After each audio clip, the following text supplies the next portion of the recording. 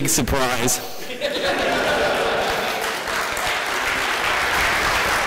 Good morning.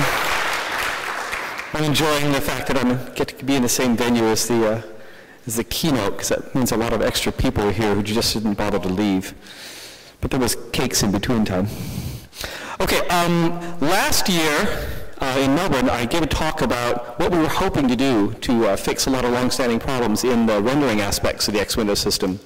Uh, this year, um, I decided to actually come back and tell you what we did actually manage to do, which was almost all of what we promised last year.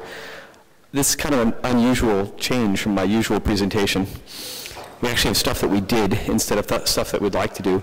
I'd like to recap a little bit of what, what I talked about last year in Melbourne um, for those who uh, weren't able to attend or who are too drunk to remember.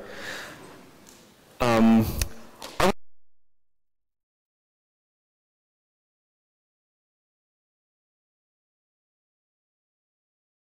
how things are drawn on the screen and how the architecture of the system works.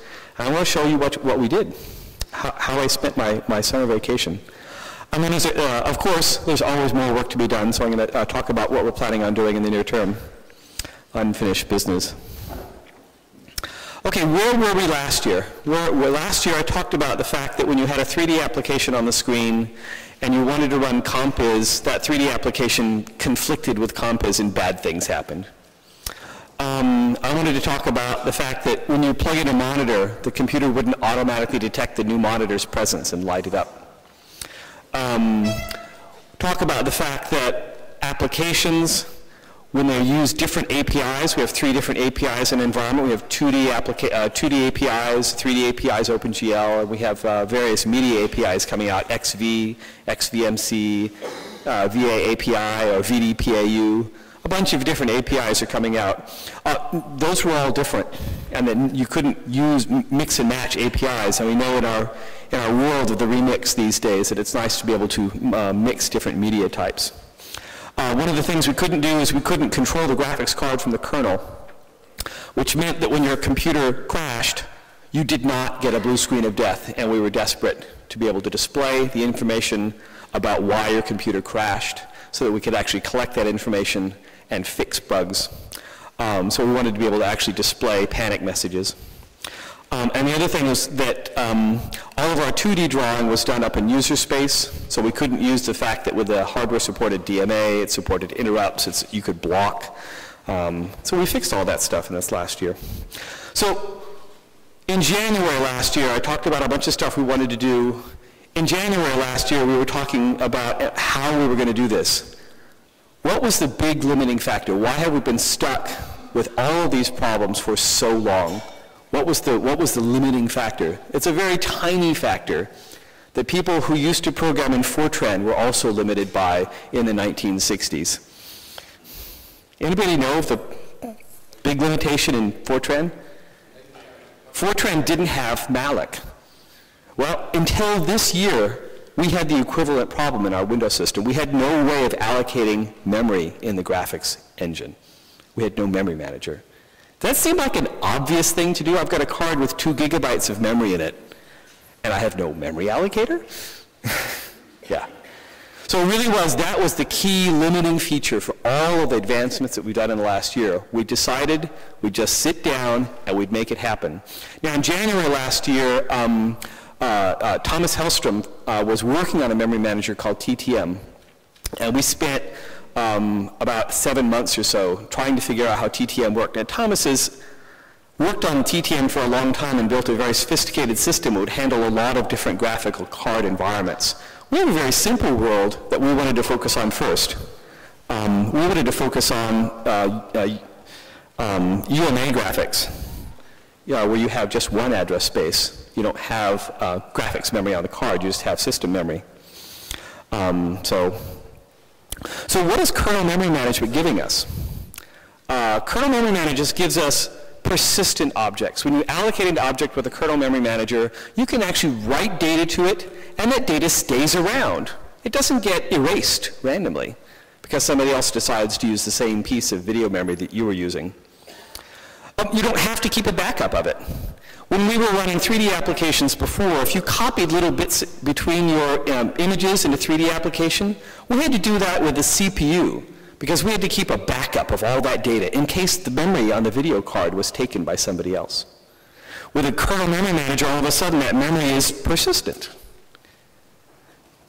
Not only that, but with a kernel memory manager, you could have multiple applications sharing access to the same object. Does this remind anybody of a, like time sharing? When did we get a file system that allowed us to share objects on the disk between processes? Was that 1950 some? yeah, I know. We're reinventing the operating system every 50 years, whether we need to or not. Um, in this case, it's for graphics. Not only that, not only can I share objects between different GL applications or different X applications, I can now share objects between APIs. So I can take a 2D X image and I can convert, uh, turn it into a texture for a 3D application. Conversely, I can take a media, a YUV media image, and move that into my 2D application. They're all transformable. It's all globally unique, and it's just a bag of bits. So it really is like the Unix file system for graphics objects. Um, and in fact, we thought very hard about whether we should create a file system out of that, um, out of this, and we haven't yet. But it very clearly has most of the attributes of a file system names, sharing, permissions, that kind of stuff. The other cool thing that we got out of creating a kernel memory manager is that all of a sudden our objects could become pageable. Now, most of you don't care about paging. Most of you have enough memory that all of your working set fits in physical memory. But the nice thing about paging is that all of a sudden you don't have to worry about running out of physical memory on a system that has a limited resource. You can build APIs that depend on having um, a large amount of address space and that, and that will run even on smaller machines. It gives you effectively infinite storage, limited only by your ability to purchase SSDs, which Intel sells. Yeah. Um, the other cool thing is that by, by making the, the contents pageable and managed by the uh, kernel, we don't have to have user space moving data between these arbitrary partitions of memory. We used to, we used to have some memory that was owned by the GPU and some memory owned by the CPU, and would actually have the CPU moving memory back and forth. Now with paging now, one of the things we can do with paging is we can take a system memory page and give it to the graphics engine. We don't have to copy it, we can just map it. It's like virtual memory or something. So what did we build? We built, yeah, we built a file system to hold our data, and we built a virtual memory system to hold our, uh, to, uh, to um, uh, share data. Okay, so what did we build? We built this in April of last year. We built something called GEM, the Graphics Execution Manager. Um, only a slight background. We really did um, want to talk about the notion that it wasn't just managing memory. It really is managing the whole execution environment of the graphics engine. It's a kernel memory manager. It also manages um, uh, the execution of commands in the graphics engine. Um, it was integrated into Linux 2628, hooray. Um, the initial develop development was done in April, and by April I mean we started a discussion about what we wanted to do in the last week of March. We started development in probably, uh, just about April Fool's Day. And by the end of April, we had 2D and 3D graphics running on this new memory manager. So that's 30 days of development uh, to get a prototype running and to show whether our ideas had any merit. And anything that works in 30 days seems like a, seems that is pr providing um, similar levels of functionality, performance to an existing system that you can implement in 30 days, and you can actually get your brain around. Seems like a good idea. Um, let's see, it was announced, I think I have a timeline. So here's our process. Here's a calendar. So in March, um, Eric Anholt, um, one of my coworkers at Intel, came up to me and said, you know, we've been studying TTM, uh, Thomas Hellstrom's uh, memory manager, for about eight months trying to get 2D and 3D graphics working in this environment, and we failed. You know, we've patently failed. Either we're not smart enough, his system isn't flexible enough, or we haven't figured out how to use it yet. You know, what about this environment is making it difficult? His uh, TTM was developed for 3D to, uh, as an underlying, uh, the underpinnings for MESA, for uh, memory management. It wasn't designed for 2D graphics. So in a lot of ways, we had some strong conflicts between what his system provided and what our 2D environment needed. And we needed to do both 2D and 3D graphics. So we, we clearly hadn't figured out how to use his system.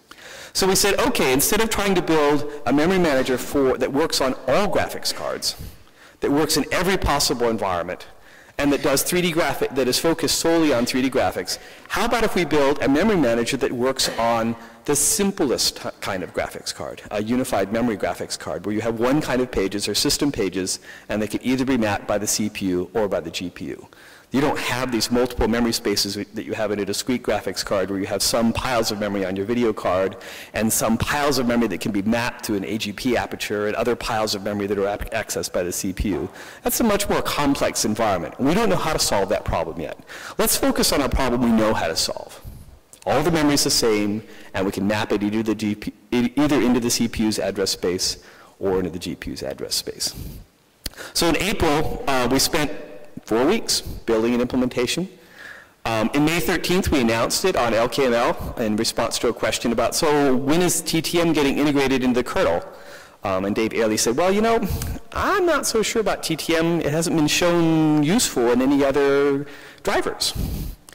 Um, and so TTM was, um, hasn't been integrated yet because nobody's using it. So in June and July, GEM becomes really functionally useful. It's not just running demonstration applications, it's running the whole desktop. So we spent the summer making it useful. Um, on July 30th, we took a really big step. Uh, it doesn't seem like a big deal uh, outside of our environment. What, what, we did is we fundamentally changed our development model. We, we changed from being 2D and 3D graphics hackers to being kernel hackers. We took our source code out of our own repository out of our own private DRM, uh, DRM tree, and we just integrated it right into the kernel tree, right into the Linux kernel tree. We said, you know, this is a kernel driver. This uses kernel infrastructure. We're changing the other, the other pieces of the kernel to support our driver. We need to adopt the kernel development model for our own driver development because that's the only place we're going to make it work. And so, uh, yes, we basically abandoned all the uh, people developing uh, the software for BSD to their own devices. Um, sorry, not really. Um, they deserve it. Oh, it was, it was great. But it, it was a huge change for us because all of a sudden we've abandoned layers of abstraction and layers of cruft around making this cross-kernel, kernel driver infrastructure. And we went and said, okay, we're going to focus on building a memory manager and an execution manager for Linux that supports Intel integrated graphics. And that's all we focused on. Let's get one thing to work and generalize from there instead of trying to build the biggest system that works for everybody and then uh, make, try to specialize it for particular platforms. We're hoping that GEM will generalize uh, GEM is being ported to BSD. It works fine in that environment. Um, i think GEM is being ported to Solaris, but I'm not sure. So the, the basic API seems relatively sound across OSs.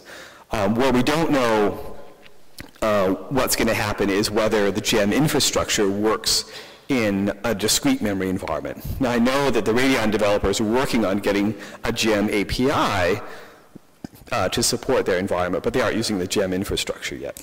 So. Uh, October 17th, uh, GEM was merged into the main line, and on December 24th, uh, Christmas Eve, uh, because Linus has no life, uh, he shipped 2628 and went off to play with his family. He's been home for a week and a half playing with his children. What's he doing? Releasing 2628. yeah. I was digging snow off my roof. Okay, uh, so I have a, a, slide on the GEM architecture. I want to tell you how it works. The first thing we did is we said, okay, we're not going to duplicate anything that already exists in the Linux kernel. Uh, one thing that we don't want to duplicate is uh, basic page allocation. Uh, I think the kernel knows how to do that. Uh, we actually found an, uh, a kernel subsystem that did exactly what we wanted. It would give me a bag of pages that were backed by swap, SHMFS, right? It's just a bag of pages. So we actually went into the SHMFS system and found a function down there that did precisely what we wanted. You give it a little pointer um, to a data structure, and it initializes it and fills it full of pages and hands it back to you. And then you could ask to have those pages mapped into main memory, or you could uh, release them and let them get written out to swap if they wanted to be. Um, SHMFS handles uh, reading and writing these pages uh, with the user mode uh, APIs. It, it, supports mapping them into user space. Um, our theory was that writing our own code would be far worse than using SHMFS, and uh, oddly, uh, it worked out pretty well uh, because we got to not implement 1,500 uh, uh, lines of code. Um, the big architect architectural imperative for GEM is to focus on cache management. Now I know that one of the Intel mantras has always been that we have cache coherency, right? We have cache coherency for DMA operations. We have cache coherency between CPUs um, so that applications don't have to worry about caches.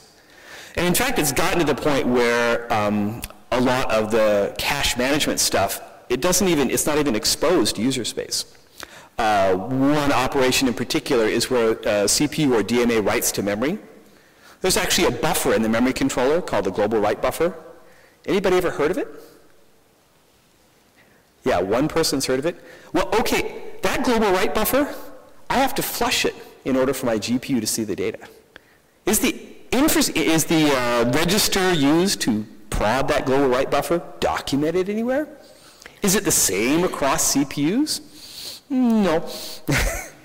because nobody is supposed to need to know how to do that because we're supposed to have cache coherency, except where we don't. Um, yeah. So what we discovered is that the biggest problem we were having with TTM, which, which is where TTM was a huge, uh, huge learning aid to us, was in managing non-cache coherent domains. We have a whole bunch of different caches in the GPU, and we have the CPU as a separate cache. When we copy data between objects for different operations in the system, we have to know which caches hold that data. So GEM's entire memory management mechanism is focused on remembering which cache holds data and whether that data is from a read operation or a write operation. Um, the problem is, is that moving data between cache domains is very expensive. Um, to move data from the CPU cache into the GPU cache, I have to call this instruction called CL flush. And CL flush works on a single cache line. So I execute CL flush a number of times to flush a page. CL flush is a big hammer. It's not as big as what we used to use with write back invalidate. But what it does is it flushes those pages from the cache and invalidates those cache entries. So if I ever touch that memory again with the CPU, what does it have to do? It has to read it back from main memory. And there's nothing between the CPU and main memory at that point other than a whole lot of cycles. So the thing that we desperately want to avoid is moving uh, memory between cache domains. The applications, when they're doing operations with the GPU or with the CPU, they, they, they know, well they should, know which cache domain the operations are in. So we're expecting, so the kernel doesn't track what cache domains operations do. The kernel is told by user space, this operation needs to have uh, the data in the, in the texture read cache. Um, we support having data in multiple read domains. So if you have an operation that's reading from a texture, say you're, um, say you're painting some data with the CPU and some with the GPU, and you're sharing a common texture, we allow that data to reside in both the CPU and GPU read cache. But what we don't support is the notion of having an object, as large as it wants to be, an object can only be in one write domain. Now obviously we could have subdomains within the objects, and there's a huge, uh, a huge amount of discussion about whether that was a good idea if you wanted to implement a user space allocator to do sub-allocation of these objects. And we abandoned that. We said, no, allocations are in the kernel. Each object gets to be in one write domain. A tremendous simplifying assumption, of course. Um, we thought when we started this that this would be really hard, managing all these cache domains. We thought we would constantly make mistakes and get caching wrong and constantly end up hanging the CPU or hanging the GPU or having terrible performance problems. Um, well, unfortunately, uh, we were right. this has turned out to be a huge pain. And yeah, so when you're designing a new CPU or designing a new GPU, um, I vote for cache coherence. Yeah, I don't get any votes uh, at, this, at this point. Okay, well, Actually, another slide on GEM, because uh, I couldn't get it in one slide. Um, one of the things that, that GEM does is it refuses to expose a physical object address to user space. User space has no idea where in the GPU an object resides. That's none of its business. Right? When you give an object to the kernel, you say, I want to do a bit from this object to this other object. You tell the kernel, the name of the object, not where it resides. That means that the kernel is completely free to shuffle things around in video memory. That means that when you run out of your tiny little two gigabyte video aperture, you can boot stuff out, shuffle stuff around, and execute the operation without going back to user space and saying, uh, sorry, whatever you asked me to do, I can't do that now. Um, user space just provides relocations. You know, we're used to doing this when you're doing linking. Uh, you, uh, you link up an application dynamically at runtime with a shared library, and it resolves all the relocations as the application runs. We do the same thing now for these graphical objects. You provide a reference to the object, you provide an offset within that object, it computes the relocation and, and patches the execution. Um, the tremendous simplifying assumption here is that now applications know precisely how much memory is available for their operation. They have it all. They always have it all. If you need to use two, giga, two gigabytes of um, aperture for a particular operation, you know that that operation can succeed because there is some way the kernel can shuffle stuff around to get rid of the rest of it. Um, we expose this notion of a batch buffer. Now this, this may seem very, very Intel GPU centric, but it turns out that oddly, most of the graphics engines who know about what they want is they want to have a big buffer full of commands. They want to be uh, given, you know, do a blit here, set up your 3D engine this way, perform some 3D primitives. They want to be given a list of commands to execute, kind of like a, kind of like a, a set of uh, CPU instructions. So we expose this batch buffer as a fundamental scheduling unit. Uh, the user space constructs a bunch of graphics commands in a buffer, hands them to the kernel and says, execute these. Um, that batch buffer actually has internal relocations pointing at other buffers and all those relocations resolved in this giant tree. It's all kind of fun. Um, and the objects remain mapped until execution finishes. So when you post a batch buffer into the kernel, the kernel is going to hand that buffer to the GPU. Before it hands it to the GPU, it's going to make sure that all the objects are needed for, to execute that operation are mapped into the GPU, and the GPU can do the whole thing. Now it can have multiple buffers pending execution. One of the requirements for GPUs to go really fast is that they have lots of stuff to do, and they never have to wait for you. So we want to make sure we can pile a bunch of stuff onto the GPU and let it just, you know, get as much data as it wants. Um, but so what that means is that we have to make all of these, all of these um, memory objects pinned, you know, pinned in the, because we've already computed the relocations, all the data is pending. Uh, we want to pile it all into the GPU. If we run out of aperture, though, it's the kernel who is now in charge of saying, oh, I can't do this operation. There's not enough space yet. I'll just wait for some of the uh, pending stuff to complete, and then I'll throw away their objects and make room for these new ones. So the kernel is to in total control of doing all the scheduling. Uh, one of the things that we could do is we could actually do a little speculative scheduling. You know, we just put a few things, we tell the GPU to go execute a few things, and then we hold a bunch in the kernel away from the GPU. And after we get five or six of them, we can say, oh, I can rearrange the objects like this, and all of these can be queued up to the GPU. So when our GPUs get more massively parallel, we should be able to take advantage of that. Let's see. Um, one of the key tenets, of course, of Linux development is that people do things in the kernel tree as soon as possible and don't try to bring a completed subsystem and say, here's what we want in the kernel, please give this to us, right? How often does that work? Never, right, exactly.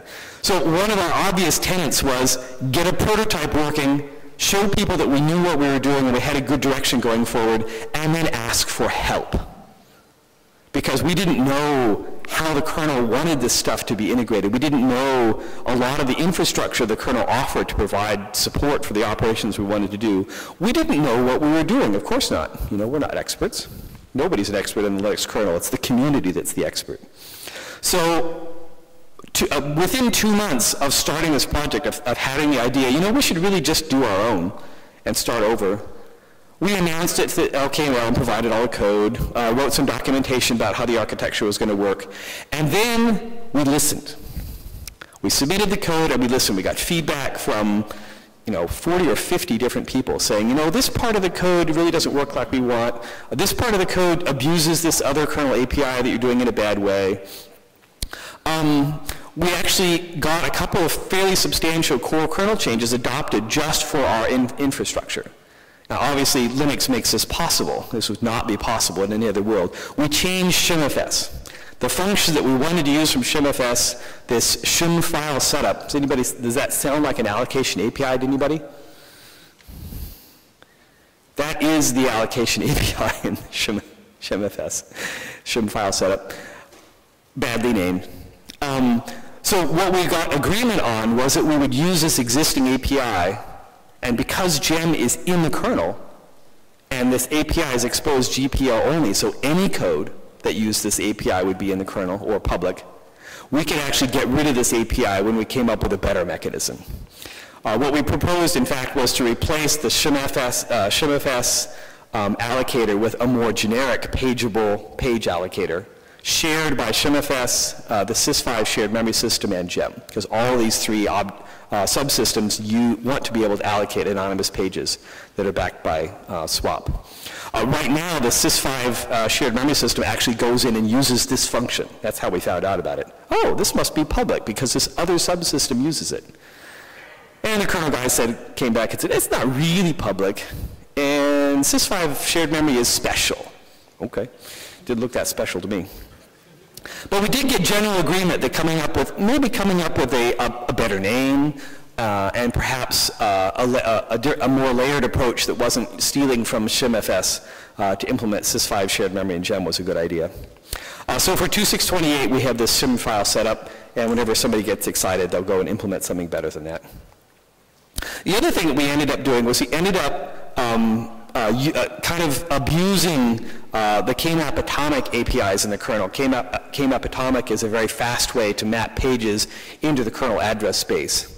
Uh, normally changing page tables is horrifically expensive, but the KMAP atomic mechanism gives us a really efficient way of doing it, which we need to do a lot when you have a two gigabyte GTT aperture. You want to be able to map stuff in and write stuff from kernel space.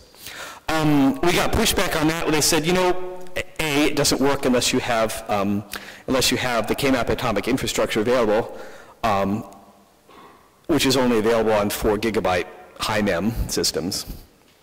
And B, you don't need this on 64-bit systems because you can map the entire aperture into the kernel. It's only two gigabytes, a tiny fraction of your 64-bit address space. So what we did is we built a new infrastructure called the I.O. mapping stuff. What that does is provides the ability to map anonymous pages anywhere in the system fast into the kernel. So that was two really cool results of bringing GEM to the kernel as quickly as possible. Some key infrastructure and key arguments about how to do GEM could be resolved quickly when changing them was easy. And we got what we wanted. Uh, so here are the two main important lessons to learn about why we did GEM and how it works. Flushing the CPU cache is painfully slow. You never want to do this. Not only does it flush the CPU cache, it invalidates those cache lines. There's no way to separate those two operations. So when I flush the CPU cache line, the next time I touch that address or any address in that cache line, I'm going to main memory, which is about a thousand cycles away. Yeah. One read, 1,000 cycles. Um, Unfortunately, the only data to get, the only way to get data from the CPU memory into the GPU is to do that flushing. So we have to do it some of the time. We just want to absolutely minimize how often we use this horrible instruction. Um, the other thing we learned was that non-atomic page mapping is really slow. When you want to change the kernel page table entries, you actually have to send an interprocessor interrupt, an IPI, to all the CPUs to get them to invalidate their TLBs and to get them to update uh, their PTEs. Yeah, so you basically stop the entire kernel. Oh, everybody wait, everybody wait, stop. And you invalidate all the pages and then synchronously update the page table entries and go back and execute stuff. Uh, you don't want to do that. Um, the KMAP atomic prot PFN function existed, kind of, uh, on a high mem system that did exactly what we wanted by accident. Uh, we kind of abused it, its accidental uh, capabilities, um, to do what we, what we needed.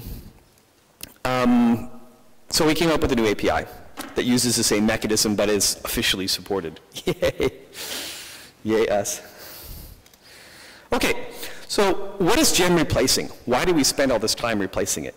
It replaces the balkanized memory that we had in the past, where we actually took our tiny little amount of GPU memory and split it up statically at startup time. Static allocation of cursors, overlays, a bunch of state buffers for 2D execution. Um, all of the 3D operations had to live in these fixed size front, back, depth, and stencil buffers. You couldn't reallocate them. Uh, X pixmaps had their own little chunk of memory that was totally separate from where the 3D textures lived. And the 3D textures were shared across all applications so that whenever your application lost access to the hardware, all of your 3D textures were gone. And if you wanted to use them again, you had to reload them. Um, all the pages that you ever wanted to use for graphics were allocated when the X server started. So if you wanted to use a half a gigabyte of memory for graphics, you physically pinned half a gigabyte of pages to your GPU. None of the rest of the system could use it, um, which was on a one gigabyte system, if you wanted to have a half gigabyte GPU aperture, uh, that's brutal. Um, the other result, because we weren't remapping things dynamically into the GPU, was that every time we wanted to move data between the GPU and the CPU, we had to copy it through this write combining aperture. Now the writes weren't so bad, but how many CPU cycles does it take to read four bytes through a write combining aperture? It takes a thousand cycles for every four bytes. Let's do that a few times. Okay, let's copy a gigabyte when I want to swap to another application. Okay, so that was the start. In April, we rebuilt the memory manager. In parallel, we were designing what direct rendering would look like when we had a memory manager. So predicated on having a memory manager, we're doing design of a new direct rendering infrastructure. Um, DRI2 is a new X extension. The fact that it's a new X extension isn't all that interesting. What the main ideas here are, are relevant for any kind of direct rendering operations. We happen to need, need to do direct rendering to X. If we build a new Windows system, we can do direct rendering with that as well using a very similar mechanism. It replaces, oddly, the DRI extension. Um, you can't support both in the X server at the same time, but they are totally separate. Uh, the DRI2 has three basic requests. It's really simple. You can connect, which is to say you can connect your application to the direct rendering infrastructure in the kernel and to the X server. You make this little triangle trade between the three pieces of the system. And that, what, that base, what that essentially does is it says if you can connect to the X server, and you can get, um, or if you're allowed to talk to the X server, then the X server tells the kernel, oh, this person, he's okay, let him talk to you, and let him manipulate X specific objects, which is what you need to be able to do to draw to the front buffer and that kind of stuff. So this is authentication stage. And then there's a really simple operation that says, okay, I've got a window, uh, please give me the kernel objects that reflect its front buffer, its back buffer, its depth buffer, and its stencil buffers. So you talk to the talk to the X server and say, please give me the global names. Remember, we have these shared global names now that refer to these buffers that are attached to this window. Um, and then you can do a very uh, the, a, a copy operation between these buffers. So, for instance, if you want to swap uh, swap your back buffer to your front buffer, you tell the X server, uh, please copy my back buffer to my front buffer, because you've got these global names. Because I've drawn something into the back buffer through the direct rendering infrastructure. Um, we used to have this um, shared memory area that contained a bunch of state information that was shared between all the 3D applications of the X server and the kernel. Um, it was delightful. We never got the data in there wrong. It had a Glock inside there. This lock was actually held by applications across system calls. So you have the application um, holding a lock that the X server needed too. Ever, anybody ever try to use GDB on a Mesa application in the land of DRI-1? Will you interrupt your application if the application happens to hold the lock? The X server can't talk to the screen. Anybody see a problem with that? I, I think it bit everybody at least once. It bit me about once every year. I'd be, you know, happily debugging along, and all of a sudden, bam, GDB would stop after I'd grabbed the lock, and well, I was dead. I get to kill the, kill, you know, I, you can't switch VTs because the X server can't start again. The X server can't do anything. You're totally locked up. SSH in, kill GDB, kill the application, and things would come back to life. Um, buffer swaps are now done in the X server. This was an anathema in the DRI-1 era when this whole notion of having a context switch to the X server just to do a buffer swap was like, oh my God, that'll be too slow. Who owns the screen? in our world. Does the DRI one, does the, the application own the, the frame buffer that talks to the, no, the X server owns it. He's got all the clip lists, he's got all the information about what windows are there. The X server is the only application that has any idea how to do this copy. DRI1 worked around this by putting clipping information in this lovely shared memory area, which could never get out of date. Oh, that would never happen.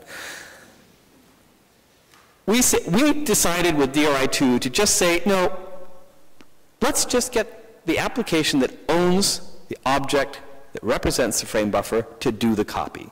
It's got the clip list, it can do it all synchronously. There will be no bugs with this. Mm, not too many. The neat thing about it is that DRI2 is completely independent of the underlying 2D driver. It's completely independent of the kernel practically. When it gets a copy request, it just takes these two objects that are referred to and copies them using existing 2D acceleration operations. It was so simple. We struggled with DRI1 for 10 years to try to get it to do copies reliably. In the X-Server impl native implementation, it was working within a day. When, when you get that kind of struggle for 10 years, working in one day contrast, it feels good. We were happy with that. Oddly, all of the buffers in this thing are gem objects. Now, one of the big changes we made in the design of DRI2 is that we decided to make them not really be officially gem objects, they're arbitrary 32-bit integers. So if you wanted to use a different underlying memory manager, you can use the same extension. But for the Intel driver, they're gem objects. Um, DRI1 used this globally shared front, front, back, depth, and stencil buffers, which meant that when you drew to your back buffer, because somebody else might also be using that same back buffer, you had to clip all your drawing. Um, in DRI1, uh, you had the small shared texture space where you couldn't save any changes. Because the data that you wrote into that, the data that you put into that uh, texture space was, was shared and could go away at any time, there were a huge litany of important 3D extensions that we couldn't implement. Things like frame buffer objects. Any other mutable object where you're taking data from the GPU and writing it to memory, we couldn't implement any of those extensions with DRI1. So all the things we talk about with compiz, where you're taking mutable objects, pixmaps you're drawing with the X server, where you're, um, where you're uh, drawing to off-screen uh, buffers and copying them onto the screen for a lot of the clutter operations that we do in toolkits like that. We couldn't, we just couldn't implement them. So it's not a matter of performance, it's not a matter of beauty, it's a matter of there are fundamental limitations to functionality in DRI and we couldn't work around anymore. Um, another important uh, limitation for the uh, for a composited desktop is you couldn't perform that in-place texture to pixmap. So you couldn't take the rendered output of an application and use it as a texture without copying the data through the CPU. Very painful. Uh, another thing we got in we're working on right now is getting kernel mode setting integrated. Uh, kernel mode setting depends upon gem because everything does. Um, it's a full mode setting API in kernel space. And we're moving it into kernel space. Ooh, to user space. Uh, somebody didn't proofread his slides very well this morning. Um, oh no, it exposes a full mode setting API from the kernel to user space. I don't even know what I wrote this morning. Um, one of the nice things about this is we can actually provide uh, FBDEV, so we have full backward compatibility for frame buffer applications. Uh, what's the number one user of the frame buffer device? Uh, console. So now all of a sudden I have an infrastructure where I can have graphics and the console subsystem sharing the same device driver. And that's critical because now when the console wants to display information on the screen and the X server is running, the console can say, oh no, the X server, it's not your turn, it's my turn. And the console can tell the, uh, the uh, kernel driver, please display this nice blue screen with white letters on it so that I can actually get information Actually, uh, one of my coworkers, uh, Dirk Hohndel, has an interesting uh, uh surprise await, uh, awaiting people who are going to have a, a, frame buffer console pretty soon. It'll be fun. Um, we've demonstrated the fact that you can run an X server not as root. Tremendous advantage for security perspective. Um, how many people have audited the X server? The X, server is some millions of lines of code. You know, I don't think it's ever been subject to a, a very serious sec security audit, at least not in the last 20 years. Okay. Um, and we actually have the example uh, of the Wayland Windows system, which demonstrates that we can run two Windows systems on the hardware at the same time. So that's going to be pretty fun. Um, we're getting to the point where we can run multiple multiple X servers and have accelerated 3D graphics at the same time. With DRI 1, you got one X server, and the first one that started got 3D graphics, and everybody else got Bupkis. Uh, when 3D becomes important, you, you, really need to be able to have all of them. The other nice thing here is that we can support uh, uh, GP GPU operations because anybody can talk to the GPU now. You don't have to be special. Um, we've been working a lot with UXA. UXA basically takes our existing acceleration infrastructure and says, oh wait, you don't have to do memory management anymore. Memory management is done in the kernel. So we throw away all this user mode memory management crap that never worked, and we use the kernel. And it works really well. Um, it's running here, of course. Um, so what's going to happen with UXA in particular? Uh, a lot of people have been asking. UXA at this point is embedded in the Intel driver. Why? Because the API is changing every, every, every day. Um, and I didn't want to change the ABI between the X server and the, and the driver. Um, we're going to try to move UXA back into the X server at some point when we're reasonably happy with the API. We think that it's going to work with multiple, multiple um, kernel memory managers. We may want to add some additional acceleration, not because things need to go faster, but because switching between CPU and GPU is very expensive.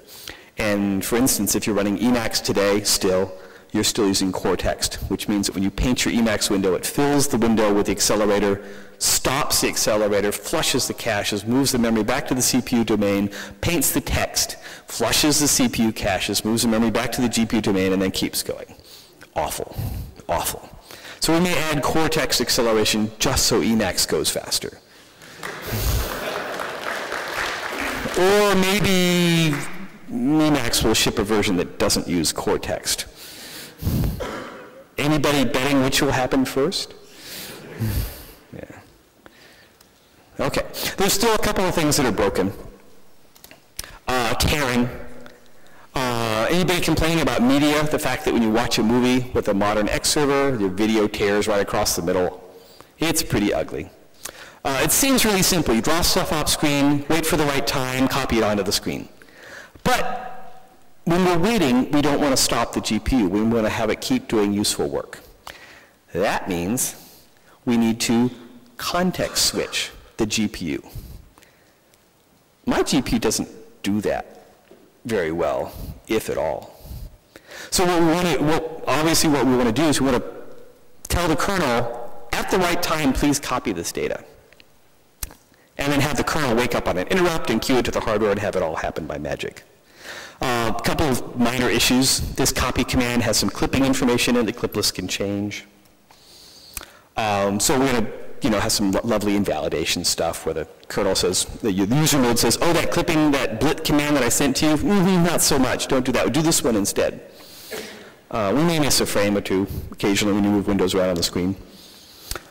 Uh, switching context is going to be hard. Uh, old hardware had a really simple mechanism. Brand new hardware has a really nice mechanism. The medium generation hardware has neither. Oops. Yeah. But I do promise that we have a plan, we're going to try to make it work, and we're going to fix it soon. This is really the worst problem that we're still facing. Uh, and I think, let's see, I have a couple, Ajax is going to talk about that. Uh, 2008, a lot of things happened. My LCA talk last year was full of promises, and I hope I've demonstrated that this year we've got a lot of solutions. There are a lot of other desktops going on this week um, at, at LCA. Carl's giving a talk on how graphics works uh, right after this. Peter's giving a talk this afternoon on our new input infrastructure. Uh, Nanhai is talking about hardware accelerated video uh, late this afternoon. And then on Friday, Adam and Rob are talking about Shatter, which is a way of using multiple frame buffers. And Rob is talking about Clutter, a new rendering system. So I have a few minutes, about five minutes, 10 minutes? Okay, 10 minutes for questions or comments? Jeff.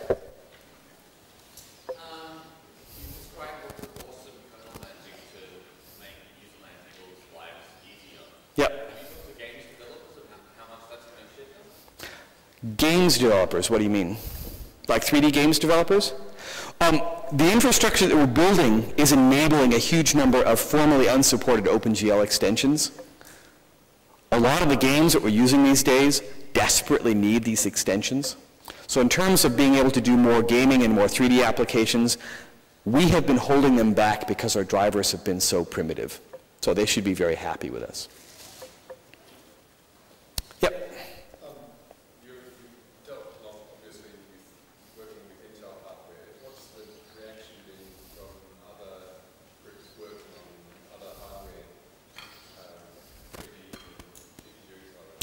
Okay, so obviously the question is, I'm working at Intel and focusing on Intel graphics. Obviously there's, you know, a strong corporate interest for that.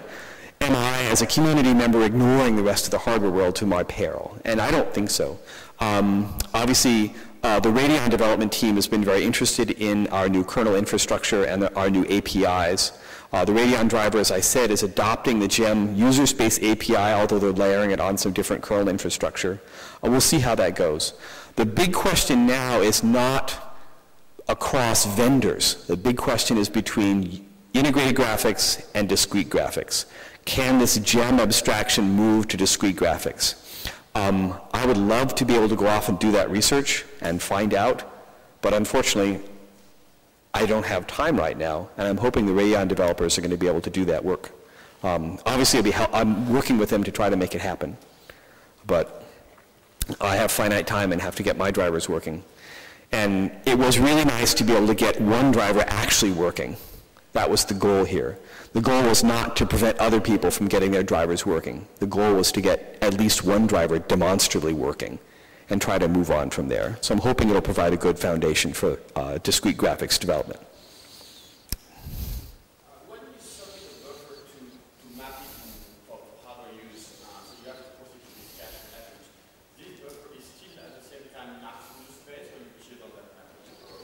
So the question is, when I map something to the GPU, is it still mapped by the CPU? And the answer is, because I'm an Intel CPU, yes. It's okay. The Intel, an Intel CPU will not speculatively read from, uh, from mapped pages unless you ex actually execute instructions that are going to read from those pages. The AT, uh, AMD CPUs will occasionally speculatively read from those pages, and worse, they will speculatively, they will write back the same information that they, wrote, that they read accidentally. So on an AMD CPU, I can't keep it mapped into the CPU, but on an Intel CPU, it's perfectly safe. And what I do is when I move it back to the CPU domain, I don't have to remap it. Now all I have to do is invalidate it, which is a, at least a slightly cheaper operation. So I keep it mapped everywhere, and I worry about invalidating caches and not about changing mappings.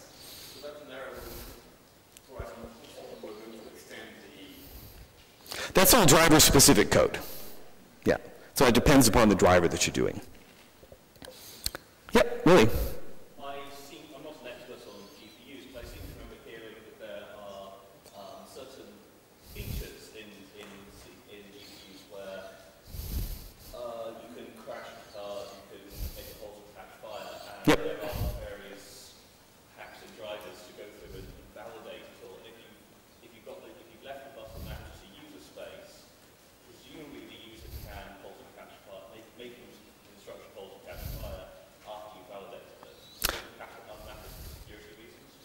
In, on, on some GPUs, for like for instance the Mach 64, yes, you would have to you would have to unmap it.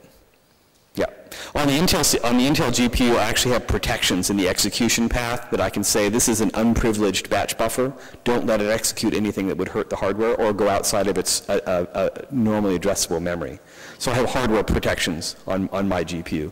With newer Radeons, they have the same. The only one that I know of that has really bad problems is Mach 64, where you can actually um, change addresses by modifying batch buffers and have it access arbitrary system memory. So yeah, in those environments you'd have to go through and unmap things, which is not cheap, but at least it's not impossible. Yeah, yeah. It, it's it, like it, it, yeah. The infrastructure is there. It's just not cheap. Yeah, not a lot of code to write. Other questions? Yeah.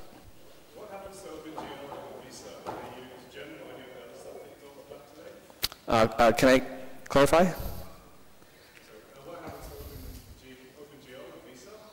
OpenGL and Mesa are using GEM now. Gem and DRI2, um, I can, I can do some demos if I have some time. Yeah, it'll be cool. I have actually stuff that works this year. It's great. Other questions or comments? Yeah, demo. I, wanna, I, I, can, I can show you. I can show you what everybody's been showing for a long time now. Yeah. I'm just going to do a brief demo. Hey, I have an appointment. I'm supposed to be teaching Legos today. So I'm going to start. One doesn't use Compiz except for demos, right?